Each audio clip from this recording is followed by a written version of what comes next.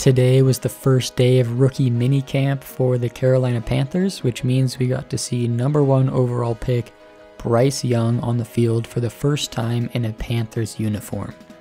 One of the first things that people have started commenting on after seeing him on the field for the first time is how small he looks. This was a concern for a lot of people going into the draft, and now seeing him stand next to NFL players on a practice field, he does look very short.